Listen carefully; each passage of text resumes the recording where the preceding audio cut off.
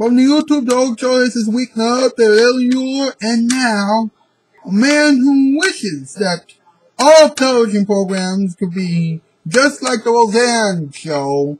No chats about politics whatsoever, just good, clean humor.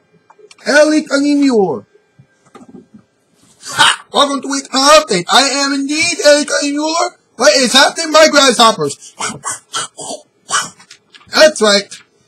The Now Update grasshoppers are some of the greatest and, coolest YouTube people around. That's right. Indeed. And tonight's Chaos Wild winners are no exceptions. Ace Red's Fan Edits, Starfish underscore Central, Vickie Eisenstein, and CoolRachi 123. That's right. Remember, you have a comedian, two gamers, and the guy who loves making family movie intros and movie trailers. That's right. There you go. Now, let's talk. Alright? Roseanne is back on the air. Do you know why? She needs some cash. Now, the show is very unique. Remember, it doesn't mention anything about politics whatsoever. Yes! Yes! Now, Roseanne Barr has gotten a little old. She's not the hippie looking comic from 1997. Of course, she still can't sing. Now she gets to work with John Goodman again. Okay. Isn't he one of the Blues Brothers now? I... It's time once again for another topic. Tonight's category, coincidentally enough. Topic 8 reasons why Roseanne is back on the air. 8. Roseanne needs some money. 7. John Goodman is a blues brother now. 6. ABC needs a better TV show. Number 5. The ABC network finally has room for a show that has nothing to do with politics. Number 4. Roseanne hasn't worked in months. Number 3. Roseanne's last TV appearance, the Comedy Central host. Number 2. It's either Roseanne Barr or Richard Karn. Number 1. Tim Allen was told not to do another TV show again. There you go. Now, I have a question for you folks. Alright? If you had to choose between the Roseanne show, which had been rebooted from the 90s, and all the reality TV shows, which would you rather watch? Your responses down below. Now, let's talk to MP and the Pink. Hey, MP, did you hear about this? What? Roseanne is finally back on the air. Well, you know what this means, don't you? Yep. Finally something good on TV. That's right. And also, we're finally going to have a choice between a good TV show and pretty much almost every bad television show in the world. Exactly. Exactly. I mean, come on. Roseanne may not be perfect, but it doesn't talk about politics. It doesn't talk about any of the big news stories of the day.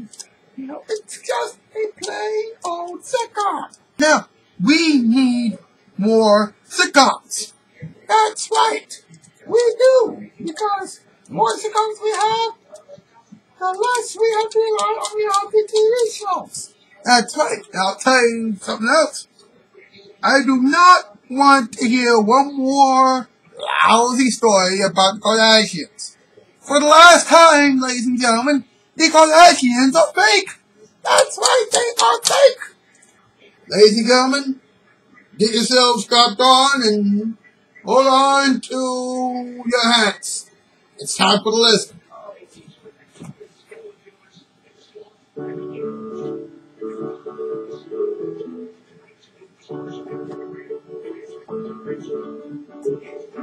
Tonight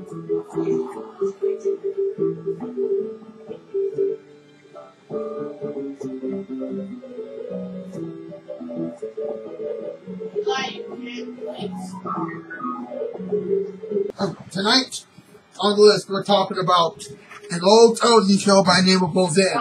that has nope. We're talking about Roseanne because that show has been rebooted. What does that mean? Remember when we were talking about television reboots? Um, Well, Roseanne used to be a television show in the late 80s and early 90s. okay, what about the show? Is it a good show? Is it a bad show? Well, it was a very good show that didn't talk about anything political. It didn't talk about anything that the news anchors were talking about. It was just good, clean fun. Alright? Now, look at this, mate. Alright? It began on October 18th, 1988, and it ran to May 20th, 1997. The series returned to do episodes on March 27th, 2018. Okay.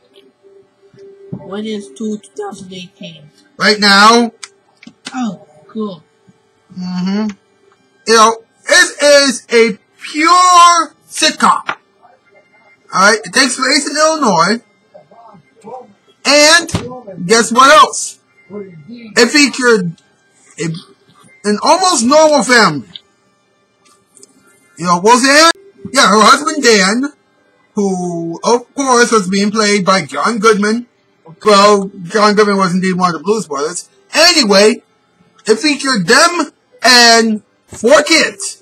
Becky, Darlene, DJ, and Jerry. But as the thing made, What is the thing, mate? the show was still a huge hit. Yay! So, when is it being rebooted? Actually, it's being rebooted right now as we speak. Look.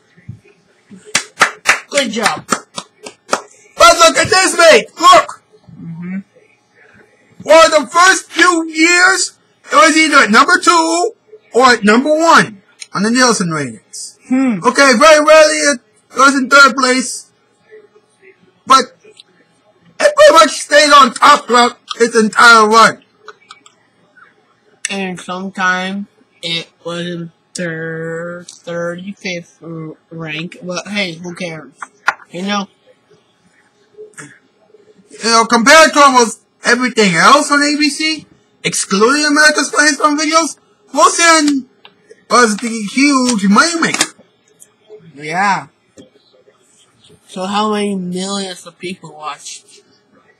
Uh, roughly, uh, 10 to 24 million people. Now, let's get in depth into Ro- Roseanne. And these aren't really my eyeglasses, but shut up. Go on. Now, look at this, mate, alright? You know, uh, last year, there was talk, actually even before then, that Roseanne would want the show to come back. Okay. You know, uh, but during the show's final season, Barr was in negotiations with, uh, Carsey-Werner uh, Productions and ABC to continue playing Roseanne Connor in the spinoff. ABC withdrew, and nothing came out of that after failed discussions with CBS and Fox. Yeah, but you know what? Uh, almost 12 years later, it's back on ABC. And guess what else, mate?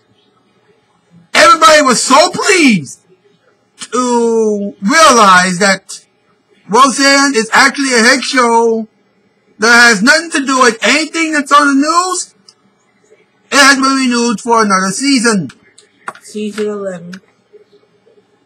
It's going to start airing, I believe, in the fall. Yeah, it's also a DVD. This just goes to show that this isn't a bad show, I think. But I never watched it. You, you, you, you go, you, you guys go out and watch it. But that show is actually ABC's saving grace. Now, How have you looked at ABC lately?